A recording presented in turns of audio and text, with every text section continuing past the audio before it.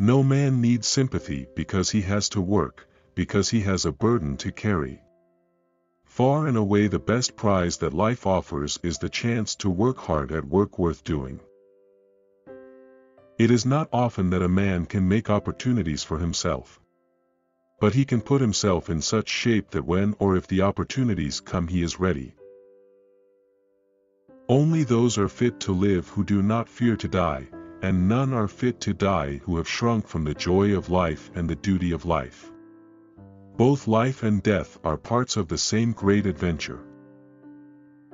There can be no life without change, and to be afraid of what is different or unfamiliar is to be afraid of life. The longer I live the more I think of the quality of fortitude, men who fall, pick themselves up and stumble on, fall again, and are trying to get back up when they die.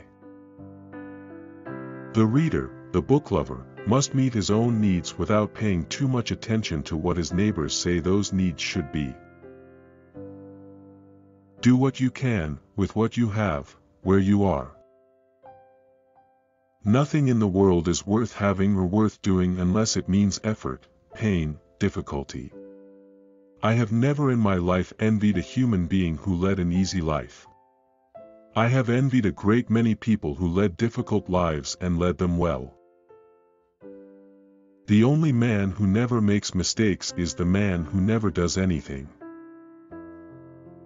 Knowing what's right doesn't mean much unless you do what's right. Keep your eyes on the stars, and your feet on the ground. In any moment of decision, the best thing you can do is the right thing. The worst thing you can do is nothing. Courage is not having the strength to go on, it is going on when you don't have the strength. Whenever you are asked if you can do a job, tell him, certainly I can. Then get busy and find out how to do it. A vote is like a rifle, its usefulness depends upon the character of the user. A man who has never gone to school may steal a freight car, but if he has a university education, he may steal the whole railroad.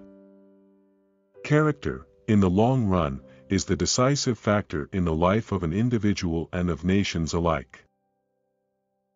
Patriotism means to stand by the country. It does not mean to stand by the president or any other public official. Nothing worth having comes easy. Women should have free access to every field of labor which they care to enter, and when their work is as valuable as that of a man it should be paid as highly.